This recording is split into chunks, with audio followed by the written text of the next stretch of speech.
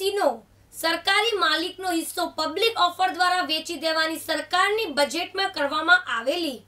દરખાસ્તનો કર્મચારીઓ દ્વારા આજે પ્રચંડ વિરોધ નોંધાવવામાં આવ્યો હતો. મુગલીસરા મુખ્ય શાખા બહાર ત્રણસો થી વધુ અધિકારીઓ તેમજ કર્મચારીઓએ સરકારની નીતિઓની વિરુદ્ધમાં સૂત્રો ઉચ્ચાર કર્યા હતા. એલઆઈસીમાંનો સરકારી માલિકીનો હિસ્સો પબ્લિક ઓફર દ્વારા વેચી દેવાની દરખાસ્ત સામે એલઆઈસી કર્મચારીઓમાં વિરોધનો ગણગણાટ ઉઠ્યો છે. આજે એલઆઈસી શાખા ઉપર વિરોધ પ્રદર્શન કરવામાં આવ્યું હતું. અત્યારે ભારત સરકાર એલઆઈસીમાં એકસો ટકા માલિકી હક ધરાવે છે.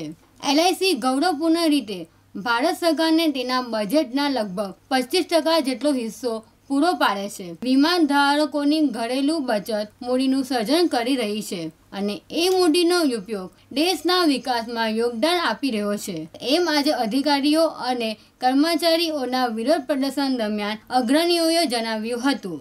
એલઆઈસીને ખાનગી ઉદ્યોગપતિઓના હાથમાં આપવાની સરકારની હિલચાલને મુદ્દે દેશભરના એલઆઈસીના તમામ અધિકારીઓ અને કર્મચારીઓ એક થયા છે. એક બાજુ સરકાર એમ કહે છે કે પૈસા નથી અને બીજી બાજુ એલઆઈસીમાંનો પોતાનો હિસ્સો વેચીને ખાનગીકરણ માટે ઉદ્યોગપતિનો આપવાની વાત કરે છે. આવું શા માટે?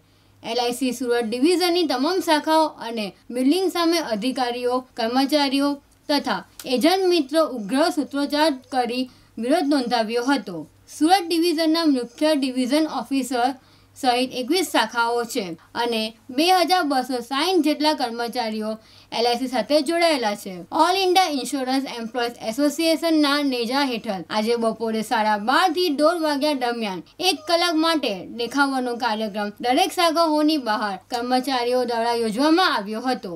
તમામ શાખાઓમાં કર્મચારીઓ, અધિકારીઓ એક કલાક માટે વર્કઆઉટ સ્ટ્રાઇક પાડી હતી. હા, હું mister V K Pargi senior manager તરીકે એલઆઈસીમાં નોકરી કરું છું.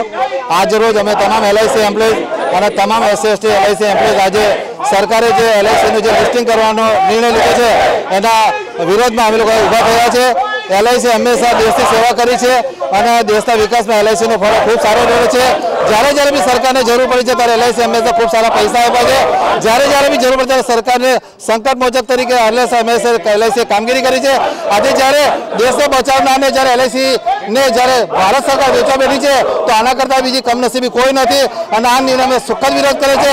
આ તબક્કે અમે તમારા, અમારા તમામ ગ્રાહકોને તથા ભારતીયોને અમે વિનંતી કરે છે કે તેઓ અમને સહકાર આપે અને જ્યાં સુધી સરકાર આમાં પીછેહટ ન કરે, ત્યાં સુધી અમે અંતિમ તબક્કા સુધી લડતા રહીશું. Thank you cameraman Savi Syed સાથે બ્રિજલ પટેલ દિવ્યાંગ ન્યૂઝ સુરત.